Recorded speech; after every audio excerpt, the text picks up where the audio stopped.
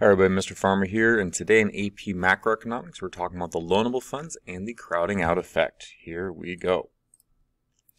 So, loanable funds graph, first off the axes, we have the real interest rate. That's going to be the interest rate paid by the borrower. So when you borrow money, that's going to be the interest rate that we're referring to. And the x-axis, quantity loanable funds, that is the amount of funds available and desired to be borrowed.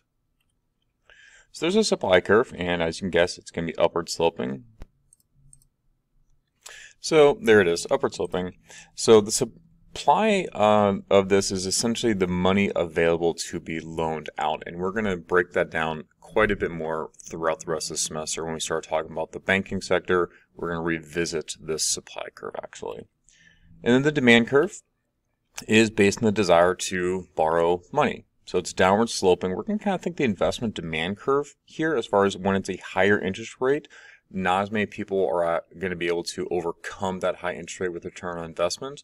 At the lower interest rates, people are more likely to be able to um, to pay off that interest rate with the whatever the return on investment are.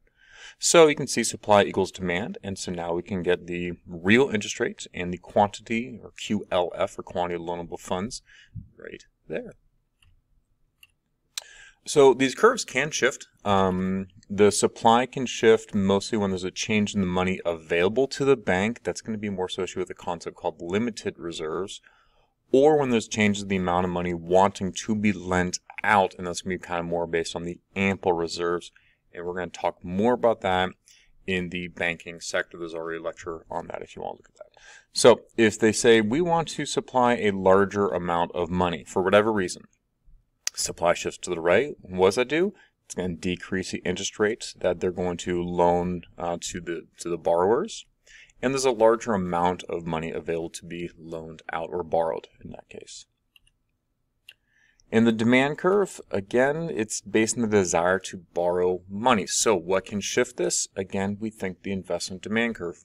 Is there a change to return on investment? Uh, change to acquisitions, change to legislation for um, using green energy. Therefore, you get a tax break, whatever. That is the idea. So, is there a change in potential return on investments? Um, or what we're going to come across more is if the government spends more money. More about that on the next slide.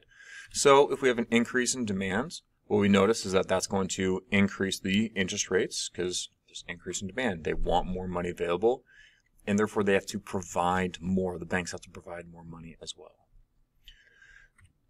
so what this is kind of referring to is the idea called the crowding out effect, which College Board loves to ask about. So we have our loanable funds graph, and we kind of have to make a little statement here. If there's an increase in government spending, that's going to cause an increase in demand for loanable funds.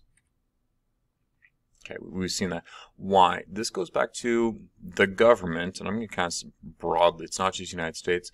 Governments are in debt, which means when they go to spend money, they must borrow some of that money. Where do they borrow money from? From the Federal Reserve Bank if you're in the United States, or a central bank, European Central Bank if you're a different country. But they're going to borrow some amount of money. Okay, as we can see, based on our graph, that's again, them borrowing money is going to increase the real interest rates. So this is the crowding out effect. Due to the increased interest rates, there's going to be a decrease in borrowing by the private sector. It's a high, it's more expensive. Most likely in the investment sector, um, again, we think the investment demand curve, it could be personal consumption as well. So the loanable funds is going to impact the ASAD after the government has spent their money. We'll assume the graph here has already shown that. Because the higher interest rates, we're going to see a decrease in the demand curve. This concept is called the crowding out effect, and it is definitely something that is talked about. So in case we need a little definition, an increase in government spending makes it potentially more challenging, more expensive to borrow money for the private sector. Thus, the private sector is crowded out from investing and spending. So the increase in demands for the loanable funds caused by the increase in government spending will thus cause a decrease in the aggregate demand curve. So now real quick, let's talk about loanable funds and the economic growth. So if you were asked a question about what would happen if real interest rates increase, because of increase in demand or a decrease in supply, so you have an increase in real interest rates. Well, consider if you were a business, are you more or less likely to borrow money now? You are less likely. Since interest rates are increased, they're less likely to borrow, it's more expensive. If businesses are less likely to borrow money, they're less likely to get the new equipment. If they don't have the new equipment, the economic growth is going to start to slow down.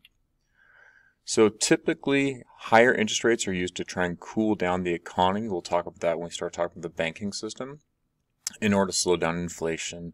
Uh, and uh, decreased interest rates are usually trying to stimulate the economy, and we can see that reflected in the loanable funds graph. All right, until next time.